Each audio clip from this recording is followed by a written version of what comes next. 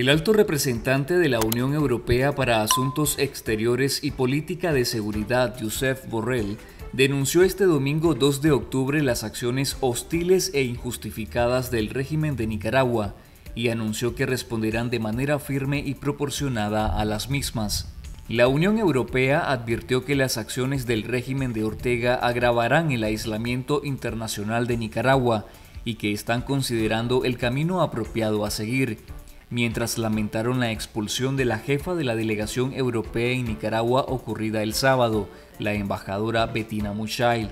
además de la ruptura de las relaciones diplomáticas con Holanda. El exdiputado del Parlamento Europeo Ramón Jauregui considera que aunque la Unión Europea no quiere responder con una ruptura total con Managua, se debe considerar con seriedad la exclusión de Nicaragua del intercambio comercial que mantienen con Centroamérica. Lea la cobertura completa en confidencial.digital.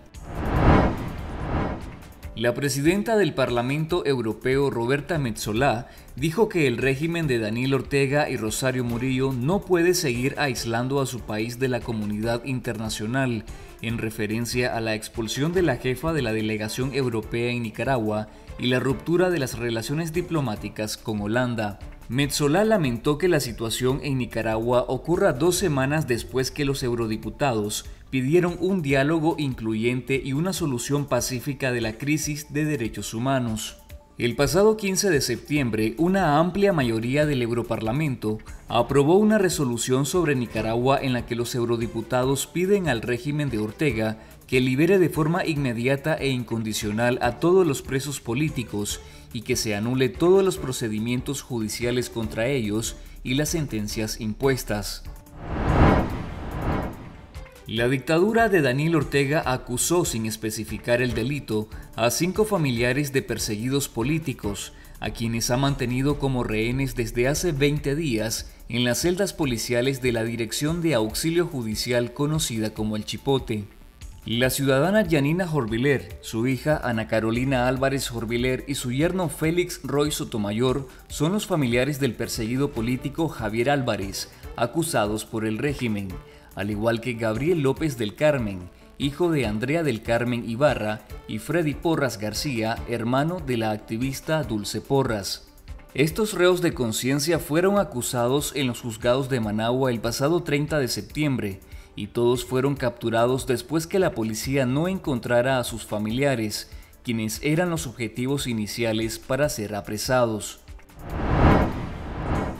Una alta funcionaria pública relató a esta semana, bajo condición de anonimato, sobre el recrudecimiento de la vigilancia política que ejerce el Frente Sandinista contra los servidores públicos, civiles y militares en todos los niveles, la servidora pública aseguró que el apoyo real al régimen de Daniel Ortega y Rosario Murillo entre los trabajadores del Estado es mínimo, ya que la mayoría se muestran sumisos por temor a represalias como la pérdida de empleos, la cárcel o incluso la muerte.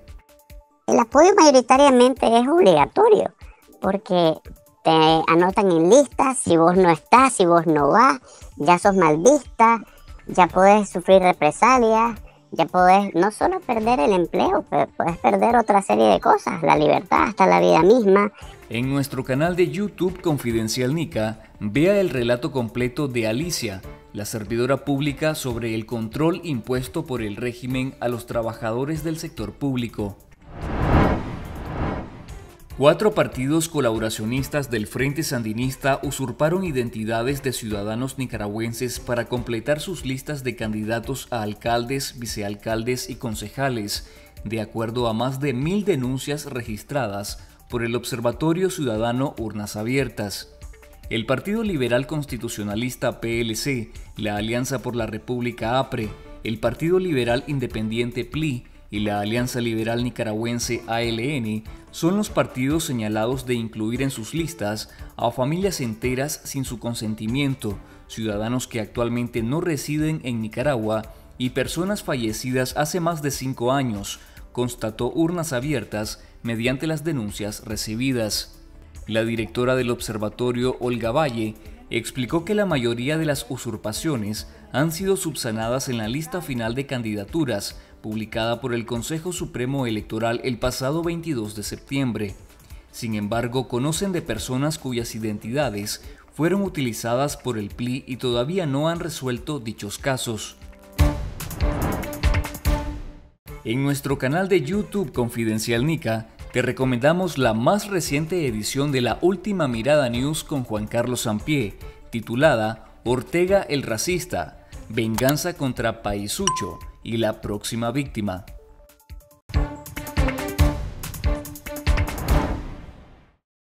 Gracias por ver este video para seguir derrotando la censura en Nicaragua. Si deseas apoyar el periodismo independiente de Confidencial con una donación, puedes hacerlo a través de nuestro canal de YouTube. Lo único que tienes que hacer es ir al chat de nuestras transmisiones en vivo y dar clic en el botón Super Chat. Así podrás agregar tu comentario junto a un donativo.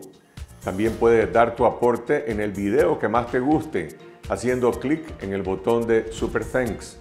ubicado en la barra inferior de todos nuestros videos. Con tu apoyo seguiremos investigando y contando la verdad para informar a nuestras audiencias.